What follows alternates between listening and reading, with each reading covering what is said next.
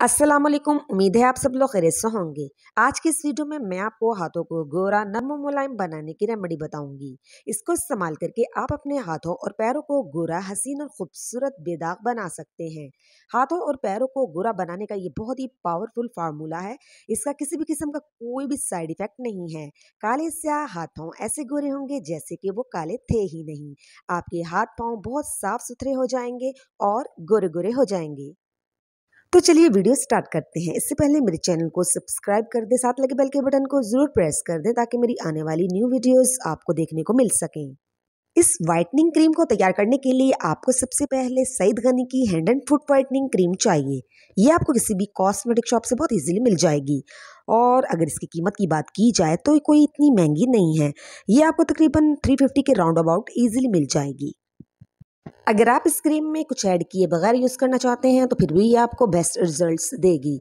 यूँ कह लें कि एक हफ़्ते में आपको रिज़ल्ट मिलना शुरू हो जाएँगे। और अगर आप इस क्रीम में एक चीज़ मिलाकर लगाएँगे तो फिर इसके रिजल्ट्स दुगने हो जाएँगे। तो चलिए क्रीम तैयार करते हैं और देखते हैं कि वो कौन सी चीज़ है जो इस क्रीम के रिजल्ट्स को दुगना कर देगी। सबसे पहले आप एक खाली बाउल लेंगे और अब आप इसमें दो चम्मच hand and foot whitening cream के इसके अंदर ऐड करेंगे। Hand and foot whitening cream add करने के बाद अगली चीज़ जो आपको चाहिए, वो है जी वाइटनिंग के कैप्सूल ये है मेरे पास वाइटनिंग कैप्सूल ये आपको किसी भी मेडिकल स्टोर से बहुत इजीली मिल जाएँगे। आप इसमें एक या दो वाइटनिंग कैप्सूल ऐड कर सकते हैं, लेकिन मैं यहाँ इस क्रीम में दो वाइटनिंग कैप्सूल ऐड करूँगी। ये वाइटनिंग कैप्सूल बिना किसी साइड इफ़ेक्ट के आपके स्क्रीन के रिज़ल्ट को फास्ट बना देगी। अब आप इसे अच्छे से मिक्स कर लें ताकि वाइटनिंग कैप्सूल क्रीम में अच्छे से मिक्स हो जाएँ। ये क्रीम सिर्फ़ और सिर्फ़ आप अपने हाथों और पैरों पर इस्तेमाल करेंगे। इस क्रीम को आप अपने फेस पर हरगिज़ भी इस्तेमाल नहीं करेंगे, क्योंकि ये सिर्फ़ और सिर्फ़ हाथों और पैरों की रंगत को फेयर करने के लिए ही है।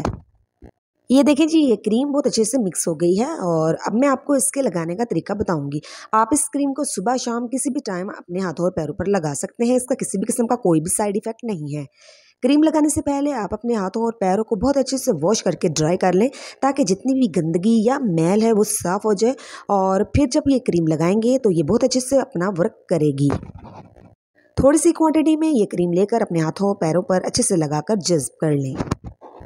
कुछ ही दिनों के इस्तेमाल से आपको इतने अच्छे रिजल्ट्स मिलेंगे कि आप हैरान हो जाएँगे। आपके हाथों और पैरों के दाग धब्बे सब खत्म हो जाएँगे, आपके हाथ बेहद गोरे नीट एंड क्लीन हो जाएँगे। यानी यूँ कह लें कि आपके हाथ साफ़ सुथरे और बहुत ज़्यादा गोरे हो जाएँगे। इस क्रीम को ज़रूर ट्राई कीजिएगा, आपको ये बहुत बेस्ट रिजल्ट्स देगी।